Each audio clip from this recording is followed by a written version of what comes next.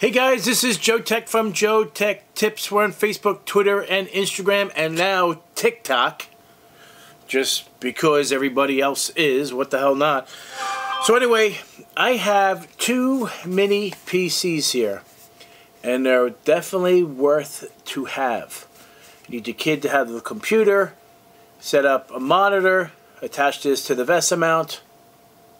They're powerful little mini computers quad core Celeron J4105, quad core Celeron N5105, 10 watts, 10 watts, 2.5 gigahertz, 2.9. That's boost. 2.0, 2.5. Great product. Maximum RAM on this is 8 gig. Comes with um, a SSD M.2 drive. These are not NVMe drives in either of them. They both have upgrade paths to a solid state drive, 2.5 inch. It's worth the money, people. I will have a link in the description below to purchase them. They both have front USB ports, two of them. This one has one NIC, this has two NICs, and they both have dual HDMI outputs on them. This is a must-have product, folks. I'm telling you. You're looking to build a um, pfSense router, software router. This is the bad boy to buy. Got two NICs on here, plus Wi-Fi, Bluetooth, Wi-Fi, single NIC. Powerful machines for the size. It's incredible. I really like them. Uh, I will have a link in the description below to, to purchase a type of device as this.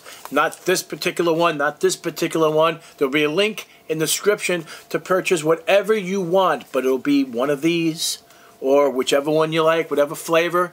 They come in Core i5, Core i7.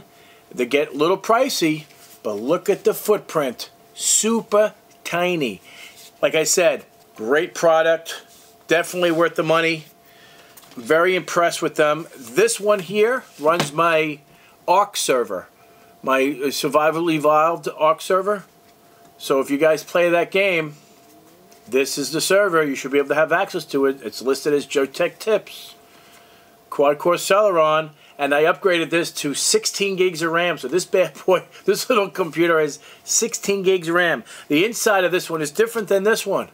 This only has one SODIMM slot. This has two. It's a much more robust, more featureful product. Lower cost, more expensive. Simple.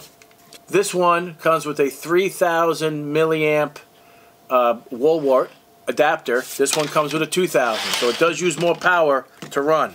This one comes with it comes with 8 gig and a 500 gig um, SSD in it, the 2280 SSD, and it also has the ability to upgrade to a 2.5 inch solid state drive.